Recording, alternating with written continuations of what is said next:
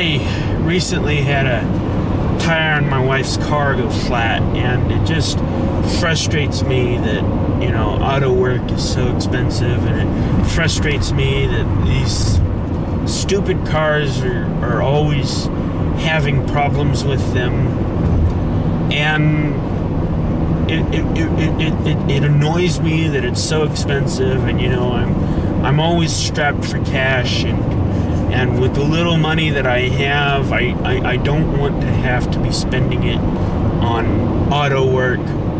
I'd rather be spending my money on things that, you know, can have some more meaning to my life rather than simply maintaining the things that I already have.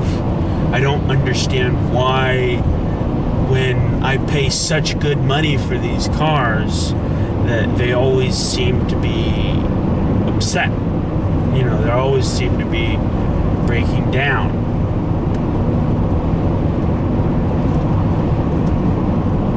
God has blessed us to live in an age when such rapid transportation is possible well, I mean, it might not be so rapid for those poor guys over there who are stuck in commute traffic. You know, they might be cursing the day somebody invented the automobile, but really these cars are quite wonderful contraptions, and, and, and God's blessed us to live in such a time as we can take advantage of these things when we do our auto work, we cannot forget that we are Christians. We cannot forget that the rules, the laws of God are still in effect.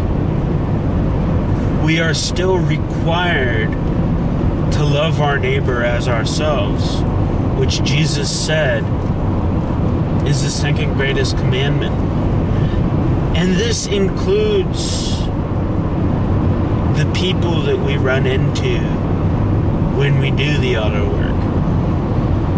Which means we mustn't take our aggravations and our frustrations about our economic and automobile problems with the people who are working at the car shop.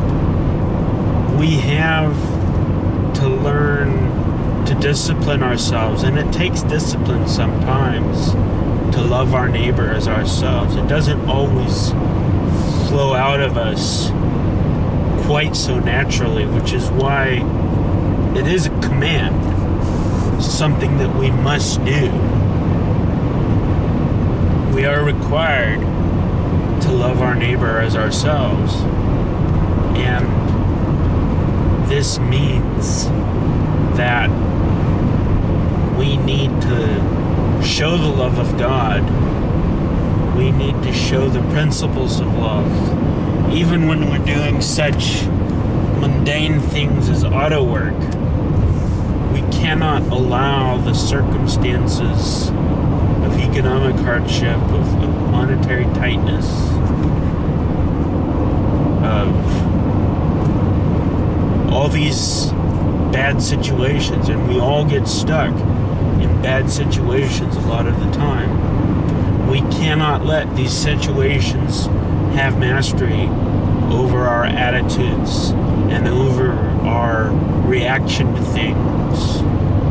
We must always allow Jesus to rule our reactions to things by allowing His command to love our neighbor dominate and rule our reaction, even if such random things as auto workers who are really just doing a job and just trying to help us.